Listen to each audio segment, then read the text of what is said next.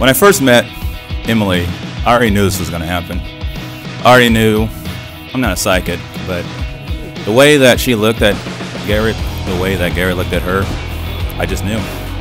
After Emily went on her first date with you, she was giddy to tell us about how, oh, he showed up at the, at the door with flowers, and finally a man with chivalry in a world where that is so rare. I know Garrett and Emily are one of those couples that are going to make it because I hear the way they speak to each other. It is sickeningly sweet and it's mushy in the most disgustingly lovable way, and I think it's just fantastic.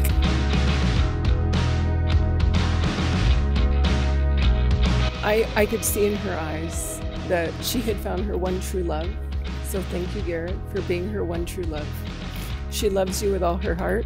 I hope you always remember this special day and your wedding vows and the butterflies you felt in your stomach. We have known Emily for over 14 years, and actually, we're more like sisters. And through thick and thin, our trio has always been there. As soul partners, we pass the torch to you, Garrett, to care and love and respect her the way she deserves, and appreciate the amazing person you have. Oh, did we just become best friends? Yeah. So we spent a ton of time around each other, and I was there from day two. Day two. Day two.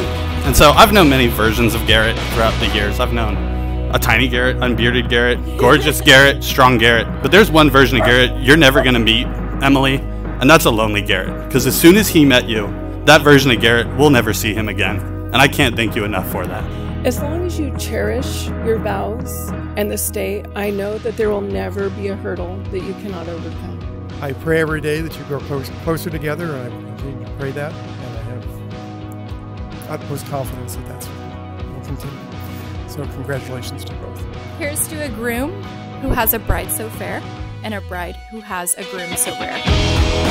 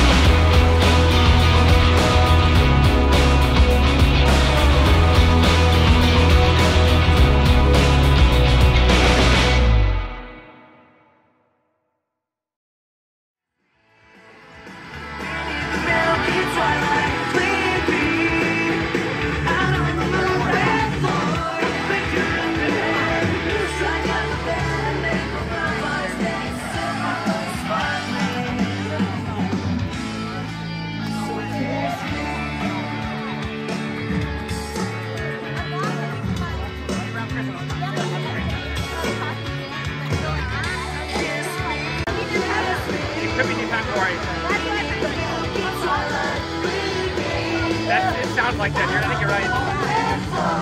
She did, she did the guitar player though. What? So kiss me.